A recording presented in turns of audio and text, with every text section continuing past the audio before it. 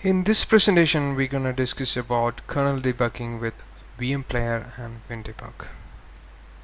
So following are the steps to do this. First we have to download and install VM Player from VMware site.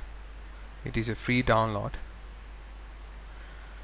Once you have installed that on a Windows operating system you can start installing the target Windows OS inside the VM Player. Next step is to add a virtual serial port to the VM player. By default it is not available. When you enable the virtual serial port you have to make the other end of the virtual serial port as named pipe which is the host end. Host is a machine in which VM player is installed and target is a machine which is hosted by the VM player or the target operating system we're gonna debug so we are going to discuss about two operating system. One is the target and the host. Target is the operating system which is being debugged. And host is the operating system which WinDbg is running and VM player is installed. After enabling the serial port boot the VM the target virtual machine and enable debugging inside the virtual machine from msconfig next step is start WinDbg in the host operating system in kernel debugging mode and give the transport as named pipe and give the name of the named pipe which you have given in the step 4 now restart the virtual machine and you are all set. So this is a basic setup we are trying to achieve here. So this is the host operating system which is hosting everything. For example it is the host operating system monitor you are seeing currently for this presentation. And there are two applications running inside the host operating system. One is WinDbg and another is VM player inside the VM player you have installed the target Windows operating system. This is the target operating system which we are gonna debug so the WinDbg running in the host and the target which is running inside the VM player is connected via named pipe. So this end of the named pipe is a serial port. It's a virtual serial port. So as far as this operating system is concerned this is a serial port.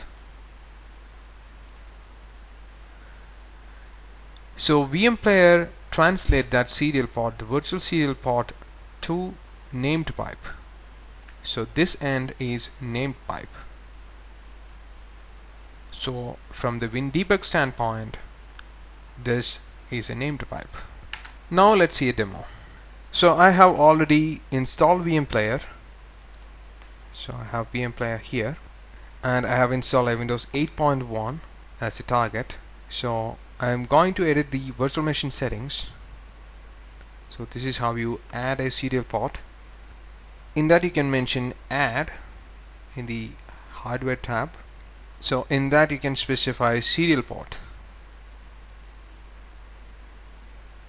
So here you have to select output to name pipe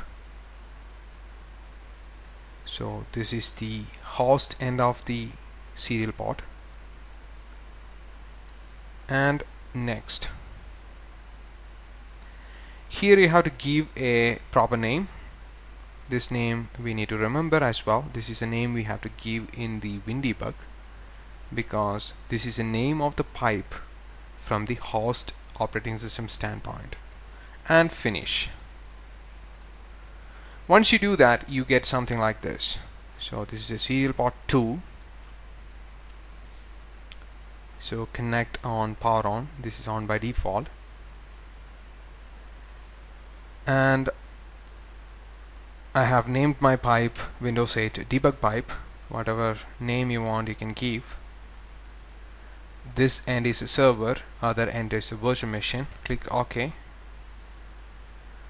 Now what you can do is you can start the virtual machine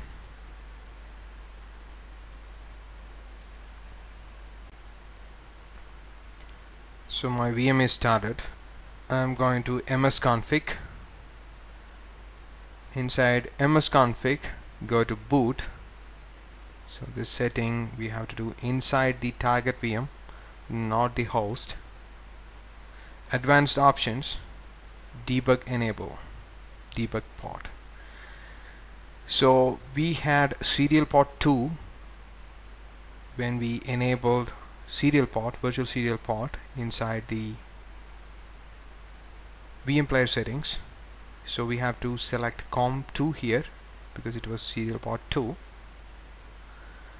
so check debug port and debug. So by default these options are not checked.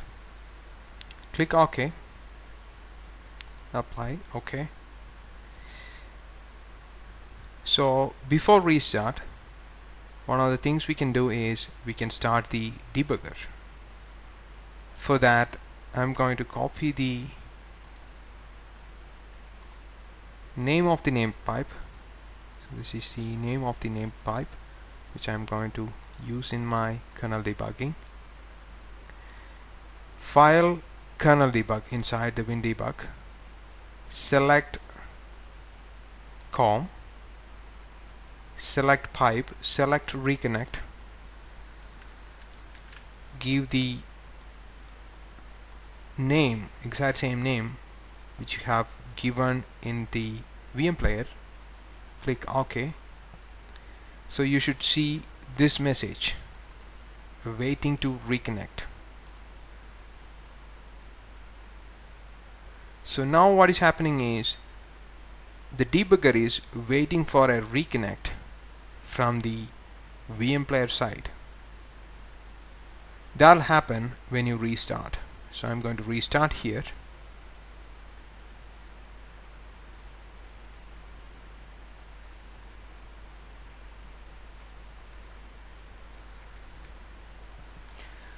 So I'm connected.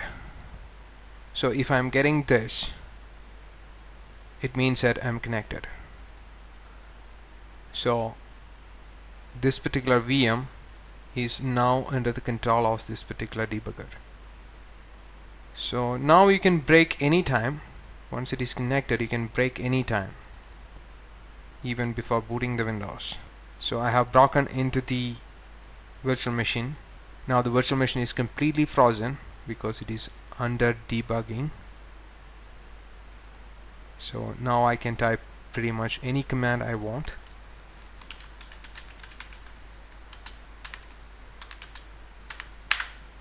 so there is only two process started. It's in the very early stages of system boot.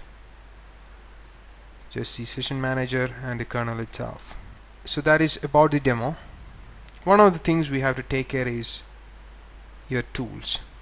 Make sure that your tools are updated. WinDbg, VM Player etc also it is a good idea to try a latest operating systems like Windows 8 or 8.1 Windows 7 etc this should work from XP and later. Even I have tried Windows 2000 but I don't recommend any operating system before that.